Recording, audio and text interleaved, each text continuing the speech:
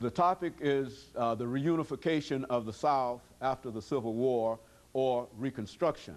And of course, we're talking to the professor of history at Fisk University, Dr. Reavis Mitchell. And of course, Dr. Mitchell, uh, we promised that during this second segment we would allow you to uh, talk about African American political participation uh, right. during this period and how uh, Africans became involved in the whole political process and uh, the influence right. of their involvement during the time.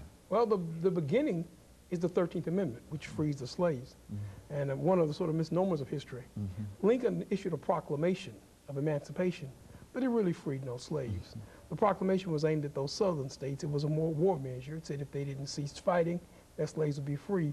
But none of the South coalesced to his demands. So slavery continued to the end of the war. Was an act of Congress, the 13th Amendment, which freed the slaves. Again, it's the radical Republicans.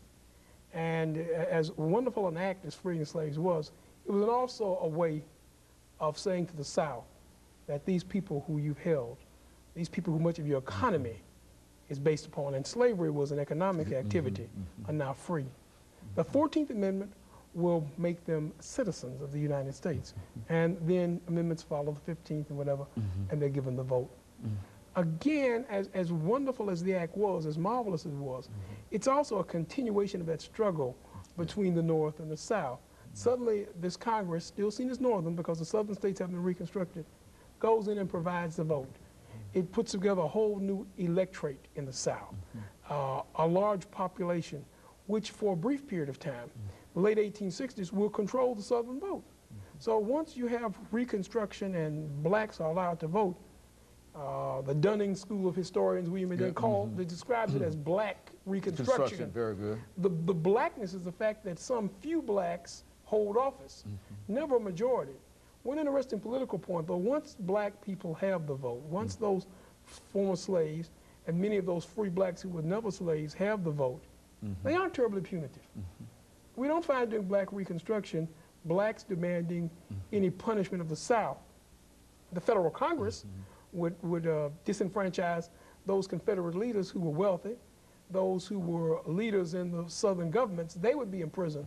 But it wasn't acts of black legislatures. It was, in fact, throughout the South, during black Reconstruction, you really find a time when black members of state mm -hmm. legislatures, uh, black members of city councils and all, will reestablish and rebuild the South. Mm -hmm. In Tennessee, for example, mm -hmm. the Tennessee legislature, once blacks are a member of it, Samuel McElwee will propose public education. Yeah, mm -hmm. You had never had public education in the South prior to the Civil War. Mm -hmm. It's during Black Reconstruction. Mm -hmm.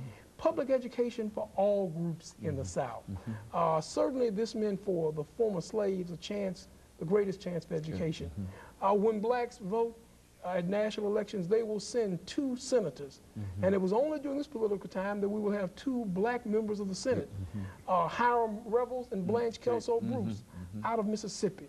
And again, they put forth very progressive legislation.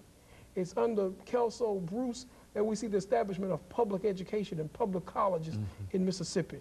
The University of Mississippi is strengthened, but there's also the creation of Alcorn, mm -hmm. AMN. There's also the creation of colleges for African Americans. We see schools and hospitals. So during this period, even though there's chaos, we find valuable assistance by mm -hmm. African Americans to the American dream. Mm-hmm. The question is, though, still at the national level. Many in the South are upset, they are chagrined, there's still this struggle. The, the question of why black Reconstruction was so disfavored in the South, mm -hmm. because again, it took this electorate and it empowered them, it gave them control. Mm -hmm. When Andrew, after Lincoln's unfortunate assassination, mm -hmm. a second president, Andrew Johnson from Tennessee, comes to power. Yeah. Andrew Johnson also is no friend of the African American. He's not pro uh, support for African Americans. He is pro, however, mm -hmm. in supporting the Northern viewpoint. He's mm -hmm. pro-union, mm -hmm. which is not synonymous with being pro-African American. Mm-hmm. Mm-hmm. Andrew Johnson once stated he wished he could relieve the drudgery of every white family by providing them with free Good. slaves. Mm-hmm. So that's not a man who's pro-African American. but he is pro-union. He follows Lincoln's situation. He follows Lincoln's demand. So while Reconstruction is going on, the political battles continue between those who want to see the Union reunited, but also those who want to punish the South. Mm-hmm. The biggest struggle develops within the Republican Party, mm-hmm. the radical and liberal wing. Mm-hmm. And what they're most radical about is the treatment of the South. In this, though, the, the, the nation moves for 20 years and there's a struggle. Eventually, there'll be a compromise.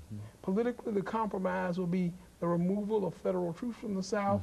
The Union is reunited, but the African American vote is mm-hmm. gradually disappeared. Mm-hmm. New legislatures begin to put in new rules. There are no troops left in the South mm-hmm. to make sure that African Americans can vote. Intimidation becomes a part of the political process. Vote, voters are intimidated. Voters are outright not allowed to vote. Voting precincts are, voting records are not kept. Votes are cast out, cast in African American precincts, and eventually the great hope of the Civil War diminishes. And, and, and, and, and so uh, when you talk about the uh, uh, military rule of the South, explain that because I think what you're saying here is that for a time, the, um, after the war, that the military, the, the uh, national military right. actually controls and rule. Talk about They this. occupied the Occupy South. the South. Now, what are you saying Here there? in Tennessee, the uh, general in charge was Clinton B. Fisk. Consequently, when a school is open, it's named a general. But they occupy the South. Mm-hmm. They treat it as conquered territory. Mm-hmm. Southerners are treated as those who were defeated in war. Mm-hmm. The great irony is, is that the two national leaders, Lincoln and Johnson, didn't want to alienate Southern voters. They hoped for reunion, but you couldn't have that.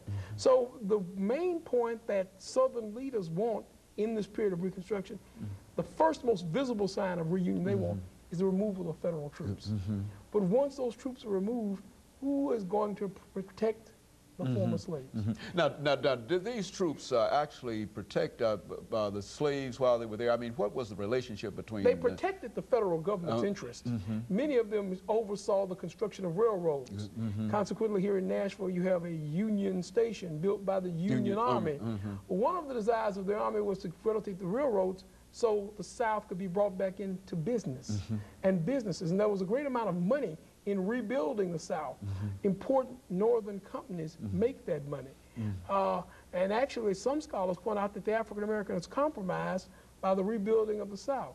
The North and the South come together again on economic interest. Mhm. And so this, this was really a critical period. Now we often talk about critical periods in American history, but this was really a critical period that uh, finally introduced uh, the African American into the politics Oh, of and, the and the period after Reconstruction is constantly referred to as the development of the New South. We need to look at what's really so new about this South. Okay, very good. And of course, let us take this uh, second commercial break, uh, Dr. Mitchell, and we'll be back with our audience uh, following this very, very short commercial break.